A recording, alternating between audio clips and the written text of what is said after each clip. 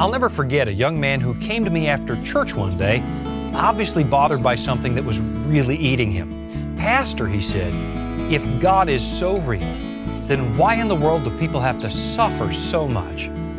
His voice shook. A tear started to form in the corner of his eye. And with that, he asked one of the most important questions in the universe. In fact, I'll bet you've asked this question too. So stick around because today we're going to meet it head on.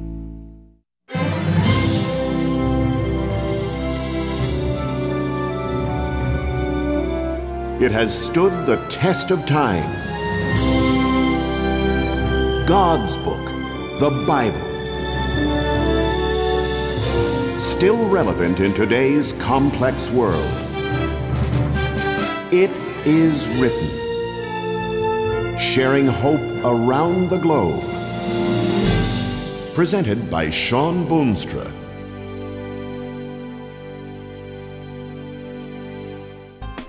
One day, a kindergarten teacher gave her students a simple assignment. Take some crayons and draw a picture. Now, most of the kids did what you'd expect them to do.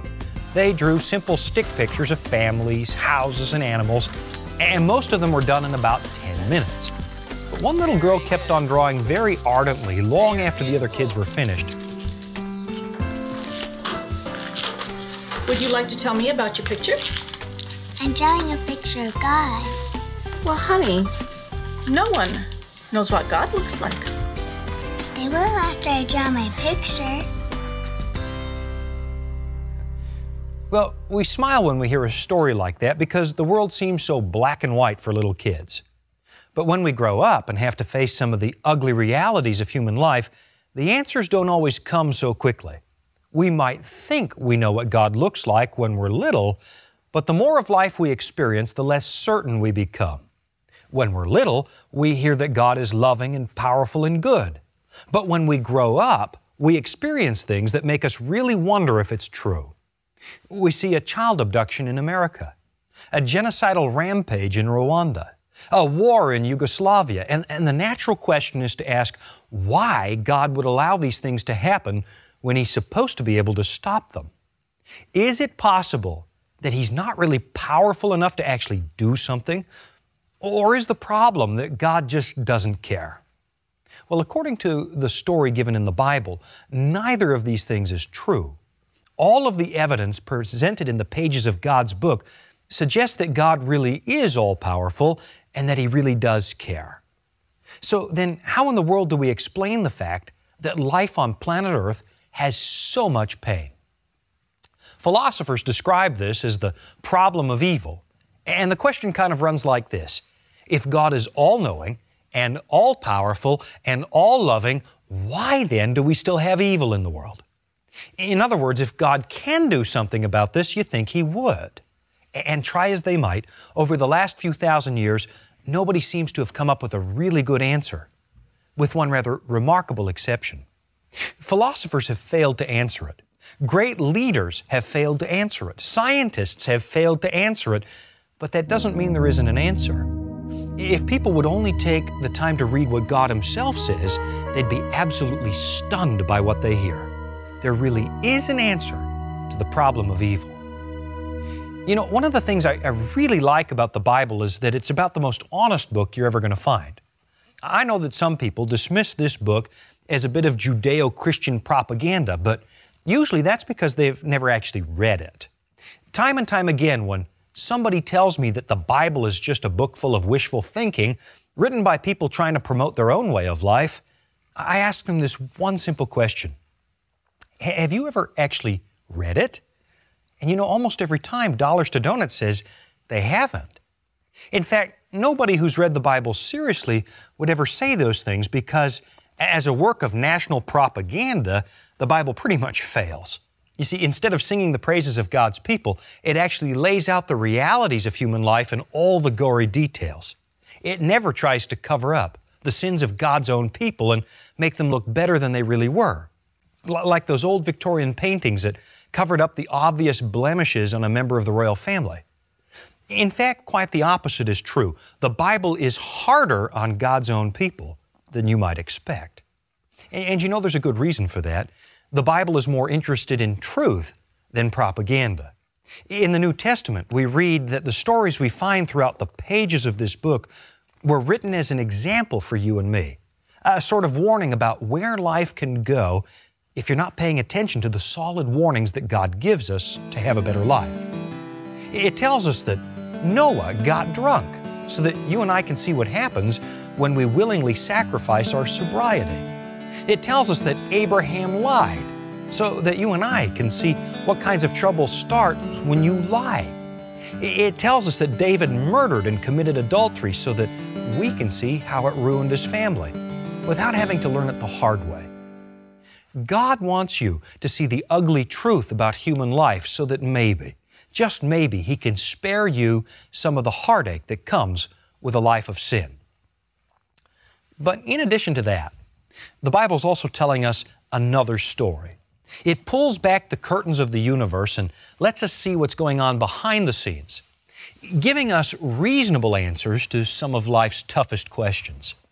Let me show you what I mean in a passage found in the book of Revelation, chapter 12. Listen to this. And war broke out in heaven. Michael and his angels fought with the dragon, and the dragon and his angels fought. But they did not prevail, nor was a place found for them in heaven any longer.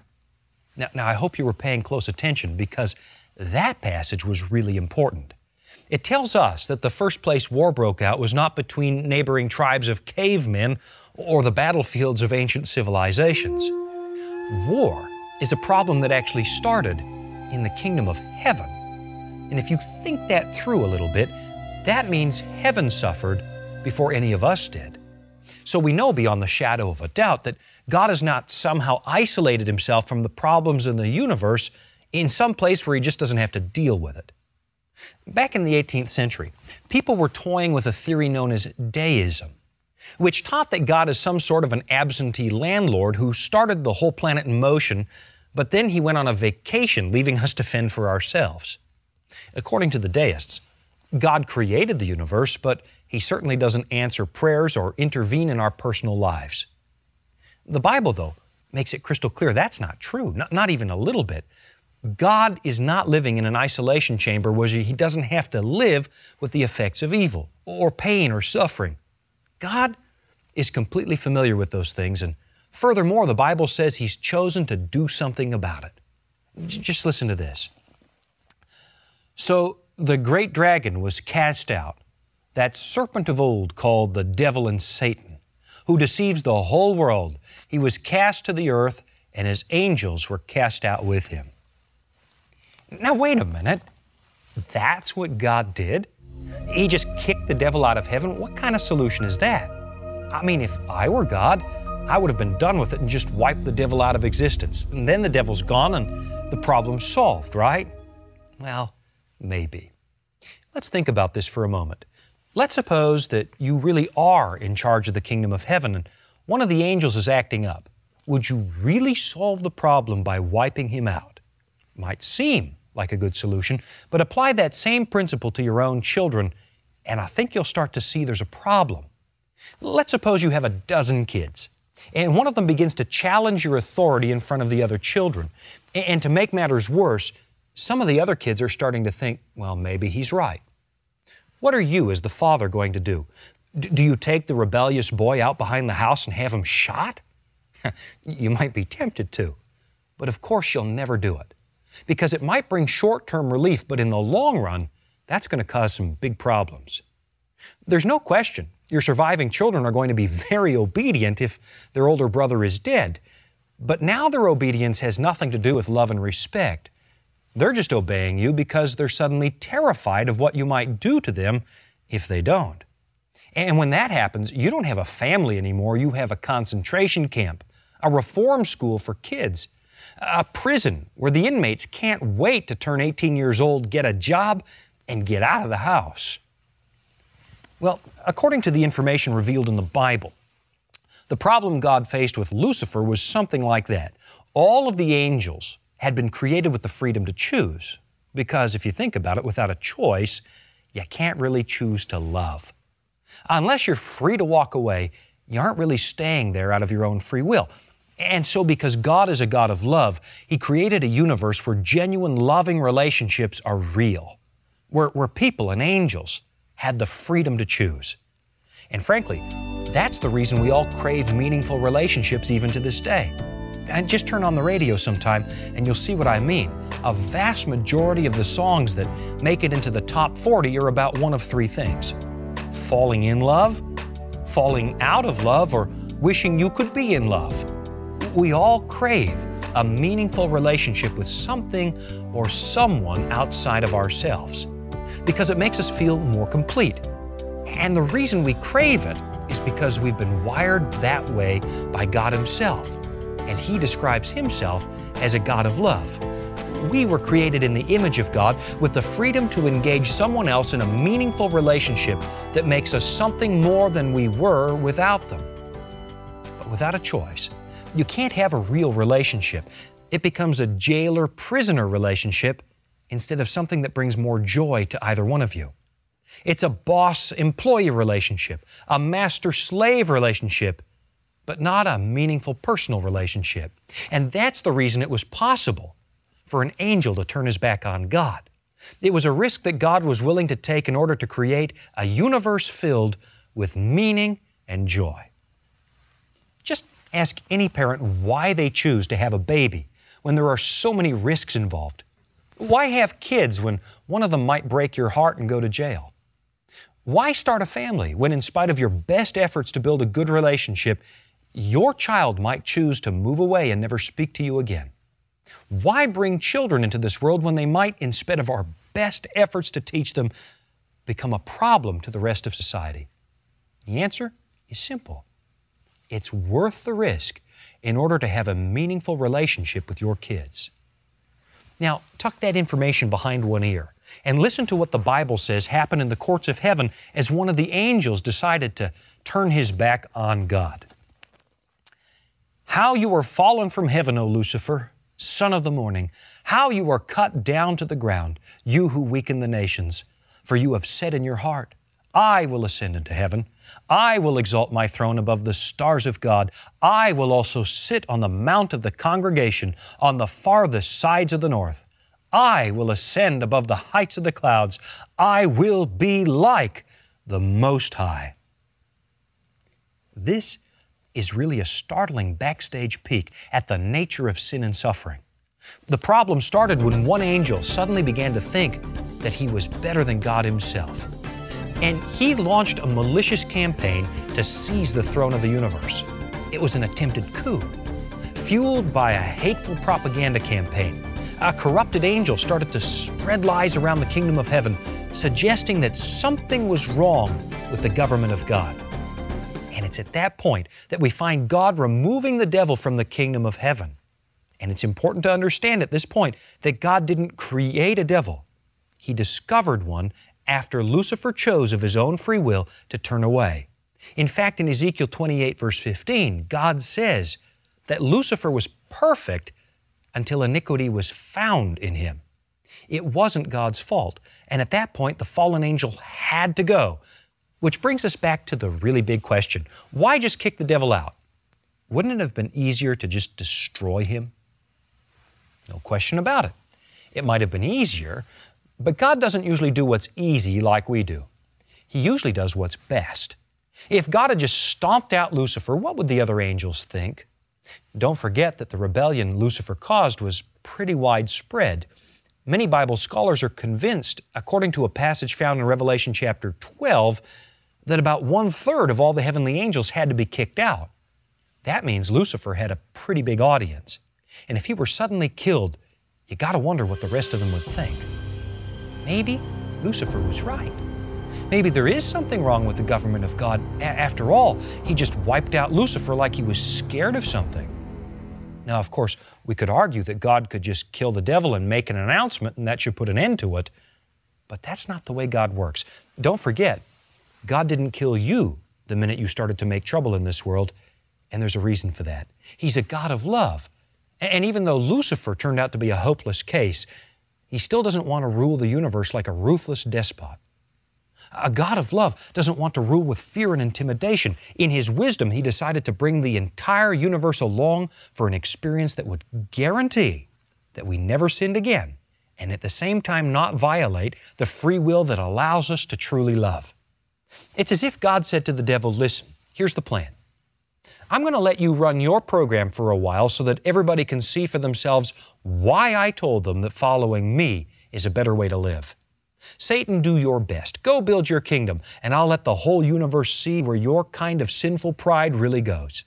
In the end, we'll let the people decide who's telling the truth.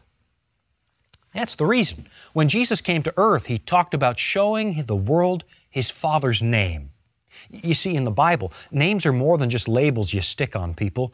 Names in the Bible actually tell you something about a person's character. So listen to what Jesus says in John chapter 17, right in the middle of an intimate conversation between God the Son and God the Father. I have manifested your name to the men whom you have given me out of the world. They were yours, you gave them to me, and they have kept your word. What does Jesus mean when he says he showed God's name to the disciples? Well, it means he showed them the character of God. When you look at Jesus, you get to see God Himself. And all of a sudden, as you study the person of Christ, you start to understand that somebody's been lying to us about what God is like. He's not arbitrary or harsh or severe. He's not an isolationist who doesn't care about us. In the person of Jesus, we get to see the truth. God is love. So, why would a God of love allow us to suffer as much as we do?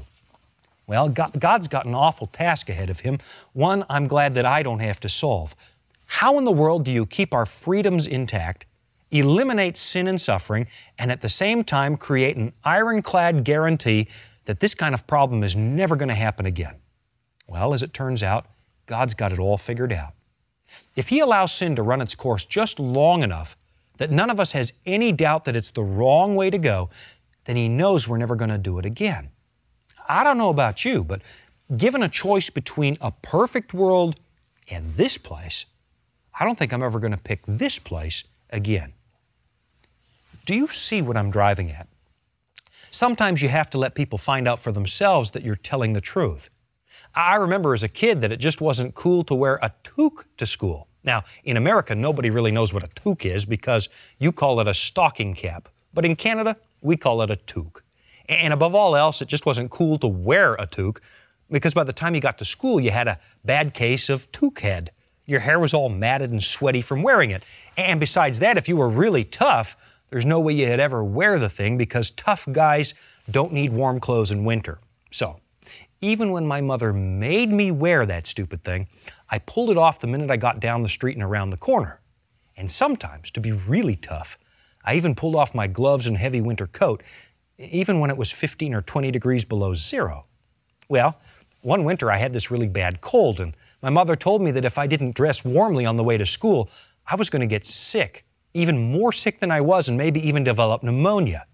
So, of course, being the tough guy I thought I was, I completely ignored her advice, and a few days later, I made a remarkable discovery. My mom was absolutely right. I developed pneumonia, and I got really sick. Now, here's my point. Sometimes, when you have your hands full with stubborn, rebellious kids, you got to let them find out the hard way before they're to believe you. And once the poison of rebellion had infected God's universe, He knew that the best way to put an end to the problem forever was to let us find out for ourselves. Don't forget, God didn't choose sin for us. We did that all by ourselves when we decided that we didn't want to follow His advice or live by His rules, and we chose instead to follow another path, God decided to let us find out exactly where that path goes. And today, we live in a world full of pain and suffering. We have a world where we can see what hatred does to people. We have a world where we can see exactly why God told us not to murder or steal. And when this life is over and we finally stand in the kingdom of God, He's not going to have to take away our freedom of choice to solve the sin problem because from that moment on, we're going to know beyond the shadow of a doubt that when God laid out the best plan for our lives, He really did know what He was talking about. And that brings me to the thing I really want you to think about. When your life is getting tough and you want to shake your fist at heaven, you've got to ask the question why you're assuming that God is at fault. Is it possible that you have the wrong guy? Is it possible that the dragon who whispers in your ear that God is at fault is the real culprit? In the book of Revelation, chapter 12 and verse 12, it says this Woe to the inhabitants of the earth and the sea, for the devil has come down to you having great wrath because he knows that he has a short time. You see, when the devil got kicked out of heaven, he didn't give up. Instead, he managed to convince a whole bunch of us to join his rebellion, and now he works full time to keep us completely in the dark. So, do you see it? We've been shaking our fist in the wrong direction. It's like a kid who discovers that his father, who has custody, has been lying to him about his mother for all these years. His mother didn't really leave the house and abandon them. Instead, the father ran out in the middle of the night taking the kids. We've been lied to. Our Heavenly Father isn't doing this, the devil is, and it's high time we started shaking our fist in the right direction. After all, in a heartbeat, according to the Bible, it's all going to be over and you'll be home with God. So the decision right now is yours to make. Where does your heart belong? Who's been telling you the truth? C- can you trust what this book says? You better believe it. All the way my Savior leads me, what have I to ask beside? Can I doubt His tender mercy, who through life has been my guide? Heavenly peace, divinest comfort, here by faith in Him to dwell. For I know whate'er befall me, Jesus doeth all things well.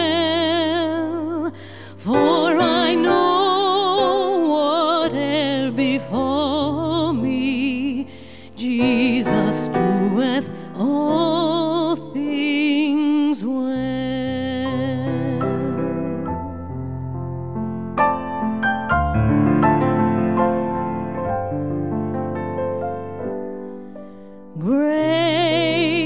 is thy faithfulness,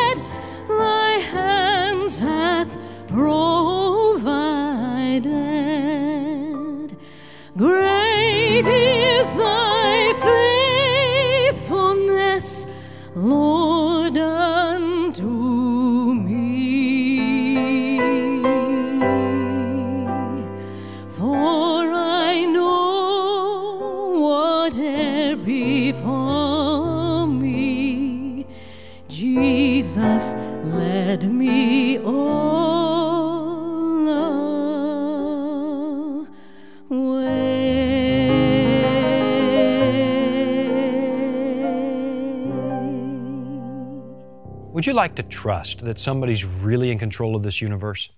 Why don't we pray together? He- Heavenly Father, thank you for loving us. As we look at the cross of Christ, we can see who you really are a God of love who laid his own life on the line to save us. Open our eyes so that we can see what you're doing for us and take us safely to heaven through the grace of Jesus Christ. We ask in his precious name. Amen. Have you ever pledged to read the whole Bible only to give up halfway through the book of Leviticus? Or perhaps you've gotten in late after work, opened your Bible, and fallen asleep while you're reading. Even worse, maybe you've spent a lot of time reading, but you don't seem to get much out of it. Well, if it's happened to you, don't feel too badly because it's happened to millions of people. We have just the thing for you. It's a little Bible study guide written by Shawn called The Sword of the Spirit. Inside, you'll find practical tips to help you get more out of your Bible. Plus, it will help you to remember what you've learned. Also included are easy to follow Bible reading plans to help you study the entire Bible and develop that all important sense of biblical context without starting in Genesis and reading straight through to Revelation. To obtain your copy, here's the information you need. To receive your free copy of the book, The Sword of the Spirit, please call our toll free number at 1 800 253 3000. Call right now. Lines are open 24 hours daily. They may be busy, so keep trying. The operator needs only your name, address, and phone number. Ask for the book, The Sword of the Spirit. You may also request today's offer by writing to It Is Written, Box O, Thousand Oaks, California, 91359. This offer is available for an address in North America only. The Sword of the Spirit is also available on our website, itiswritten.com, where you will also find a host of additional spiritual resources. Plus, there's an archive of scripts and programs you can watch online. Better yet, sign up for Shawn Boonstra's weekly podcast. It's all waiting for you at itiswritten.com. It is Written as a faith based outreach made possible by viewers like you. Thank you for your letters and your continued support. Our toll free number is 1 800 253 3000 and our web address, itiswritten.com. Discover answers to the most common questions of life at BibleInfo.com. That's right, answers to questions directly from God's Word, the Bible. BibleInfo.com is used by people around the world. It's available in 19 languages. Easy and simple to use, BibleInfo.com answers to life's questions. Log on today and discover the answer you've been looking for. BibleInfo.com.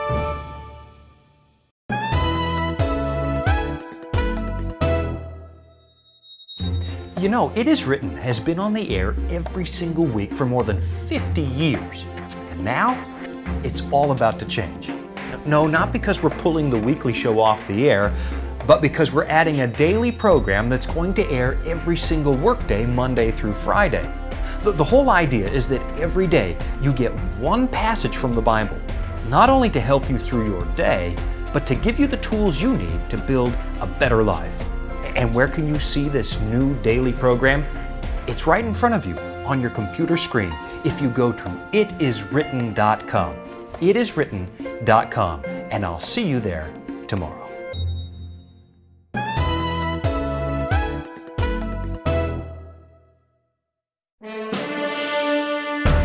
The creation evolution debate has been raging for decades. At its core are some of the biggest questions in the universe. Does God exist? Where do human beings come from? What story does the fossil record tell? What is the meaning of life? Pastor Shawn Boonstra focused on these basic questions in a recent series called Out of Thin Air, which is now available as a two disc DVD set. Included are four inspiring presentations by Pastor Boonstra, plus three insightful interviews with biologist Dr. Timothy Standish. Topics include The Big Question. Ancient writings tell the story of an omnipotent God who brought this universe into existence. Yet some ask, does he really exist? The hidden history of the human race. Evidence seems to suggest that our ancient past might be different than what we've believed for generations. Is this true? Secrets in Stone. The more we dig into the earth, the more surprises we find. What happened to this planet in the distant past? Out of thin air. Amazingly, there are reliable answers to the most important questions ever asked. Discover why you are here. In addition to the DVD series, Pastor Boonstra has written a dynamic book on this important subject, also titled Out of Thin Air. The book delves deeper into the vital issues surrounding the creation evolution debate. To order, please call 1 800 253 3000 or visit itiswritten.com. The DVD is $19.95 and the book $9.95. But for a limited time, you can get both the book and the DVD for a special discount of just $25. Discover why this subject is so important and how it forms the basis of meaning and purpose in your life. Call today 1 800 253 3000 or visit itiswritten.com.